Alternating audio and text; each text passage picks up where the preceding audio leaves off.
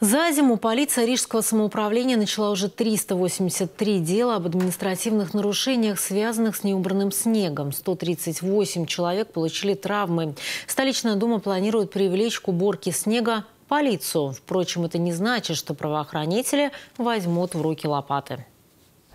Сейчас тротуары в Риге должны чистить владельцы прилегающих домов. Муниципальная полиция уже сейчас фиксирует нарушения, если снег на прилегающих территориях не убран. Экипажи ездят по шести маршрутам патрулирования улиц, фиксируют нарушения и передают информацию административной инспекции.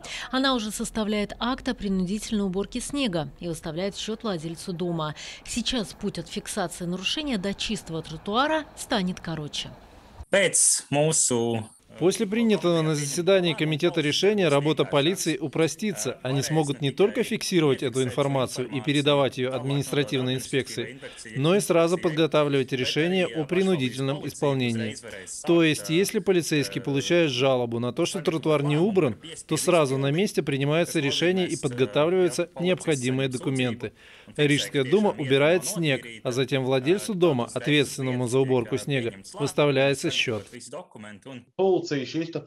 Полиция возьмет на себя эти функции, что особенно актуально в выходные и праздничные дни, когда административная инспекция вообще не работает.